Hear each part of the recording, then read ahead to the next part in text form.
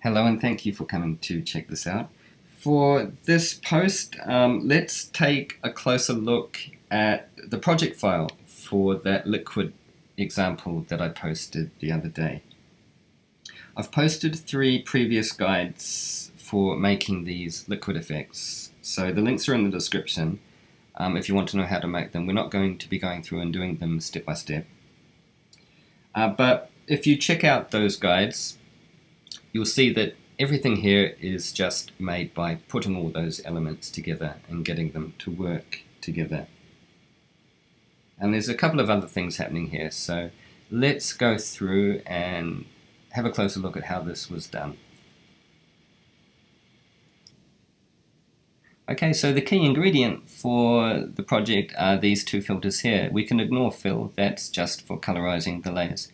We want to look at the levels and the Gaussian blur. Uh, so I learned this filter combination from the Motion Love YouTube channel. There was an awesome tutorial there um, showing how to do liquid effects with replicators and it's not something I would have discovered for myself uh, in a million years.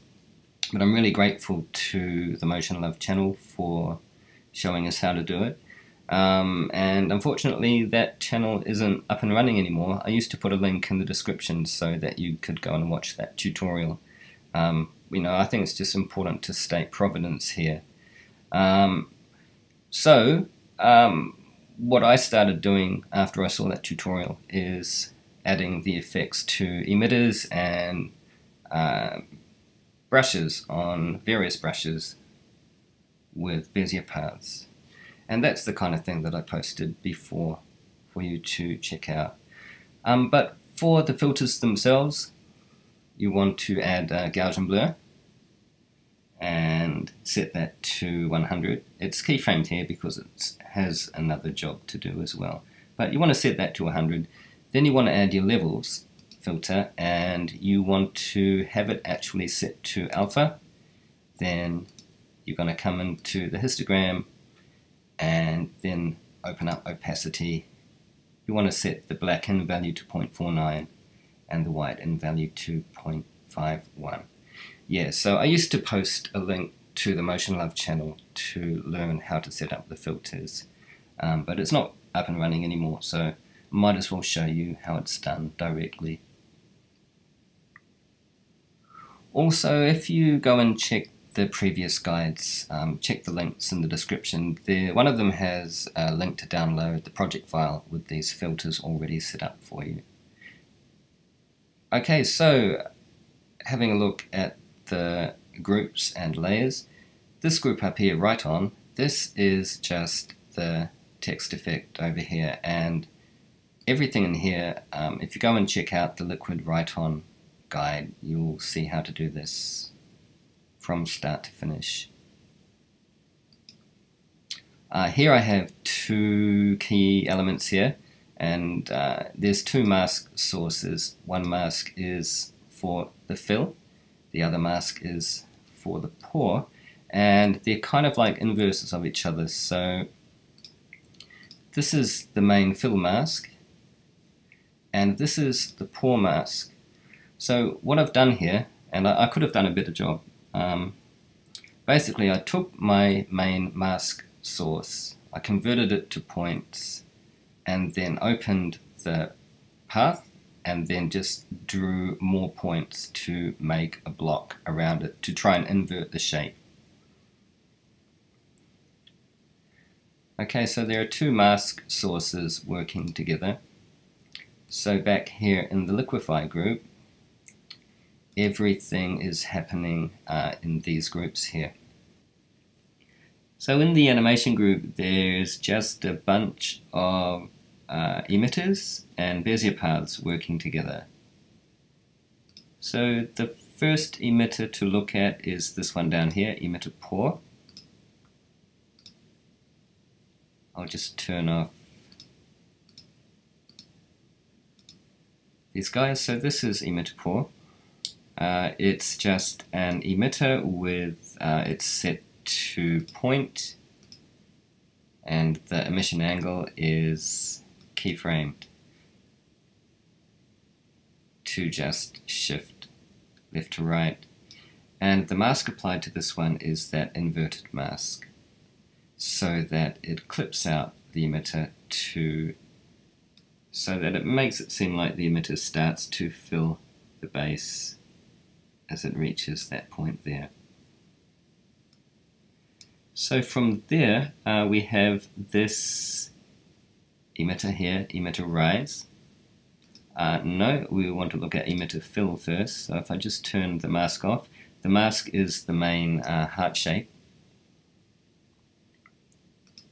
So this is uh, this emitter is a line that is just sending up splotches and splurges in that direction. And it's clipped out to into the mask shape. And so then we have this group here. Uh, I shouldn't actually call it emitter rise. I'll just rename it to riser. And there I have this rectangle shape. It's masked to the heart shape. So it is just a rectangle keyframe to rise up on the y-axis and right around here it starts to interact with emitter fill to create these um, bubbly bloops. I also did add another emitter and uh, linked it to the top edge of the rising shape to give it even more splashiness. Uh, but I preferred it to be off in the final animation.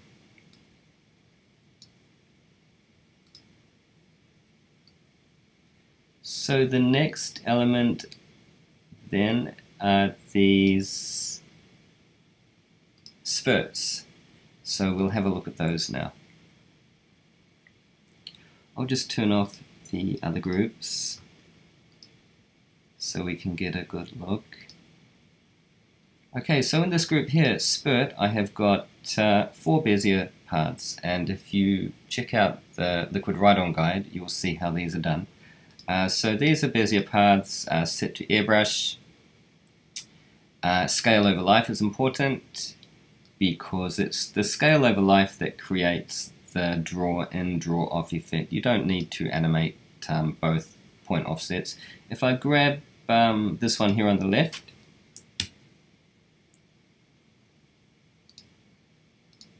you can see it's just a Bezier path here. It's set to uh, airbrush uh, with that 66 spacing there at 25 and uh, dynamics is turned on.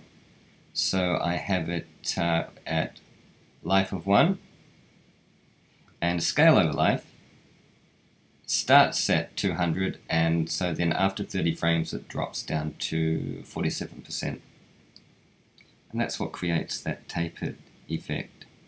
So I've got this group masked out to the pour mask, the inverted mask. So as they run their path, they kind of hug uh, and con conform to the shape of the heart, the outline of the heart there.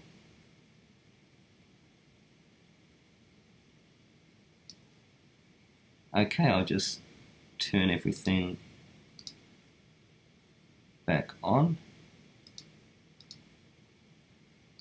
Is that everything? Yep, I'll just turn off the rising bubbles one. Okay, so, alright, the last element uh, is this little drop up here. It doesn't look so great. These um, filters don't look so good when uh, objects have a small size. I'm still trying to work out how to make that look better. But again, that is just another Bezier path set to airbrush. Scale over life is just uh, a smaller version of these ones running on a more linear path. Okay, so this morphing effect, this is covered step by step in the morphing guide. And as I mentioned before, the liquid text Write-On, that's all covered in the liquid text Write-On guide. Uh, so there you go. Um, if you were interested in how it was done when I posted the other day. I hope that this makes things more uh, doable for you. Uh, I just wanted to point out really the masking, how that was done to make them all work together. Thanks for taking the time to check it out. Thanks for watching.